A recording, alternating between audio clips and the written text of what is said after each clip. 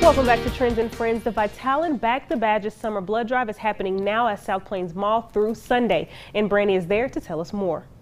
That's right, Brenchavia. I'm out here at South Plains Mall, right next door to Victoria's Secret. I'm joined by Brandon and Michael, and we are out here to talk about Back the Badges blood drive. Thank y'all so much for having me out. So let's start. Brandon, tell us what this blood drive is about. Yeah, so this is our annual Back the Badges blood drive. We do it every year during the summertime. We partner with our first responders here in Lubbock, Lubbock Police and Fire Department, um, just as a way of spreading awareness and drawing blood for summertime blood shortages that we have each and every year. Okay. Tell me why it's important, especially this time of year, that people that are eligible come out and donate blood. So summertime is always hard for our our blood needs at local hospitals. Um, with people traveling more and, and being busy, they just don't always think about donating blood. So that's why we have events like this to raise awareness and raise blood because we use a lot of blood here in West Texas. Okay. So back the badges. How, how did you come up with this? How long has it been going in? Talk to us about that part of the support. So Vitalant and our first responders share um, a life-saving mission, right? Our first responders are out there each and every day. They're being heroes. They're saving people. They're helping people, and we try to do the same as well. So it's a natural partnership. They see the need every day, um, and we see the need every day. So it's just a natural partnership that we meet with them. Exactly. Such a great idea. Okay, so Michael, you're here as a partner, and you've got some freebies not a bribe, but just freebies that those that come out and donate. Talk to us a little bit about your partnership and uh, what you're holding. Sure. I'm, I'm holding one of the T-shirts that you'll get as, as you donate.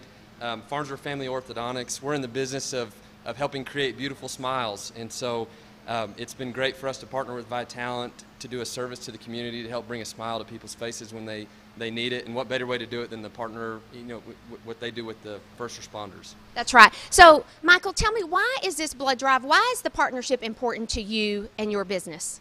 I think for us, it's investing in the community it's something that's giving back directly to the community. And so for us to partner with Vitalant, we've done this before with them, um, whether it's through school blood drives or, or, things like this. But of course, with our first responders, you know, anything that we can do to help out the healthcare industry and, uh, you know, and, and be involved with our first responders is what we want to be a part of. That's right. Well, thank you so much. I know they're so appreciative of you. And it's just like Lubbock to partner up, come together.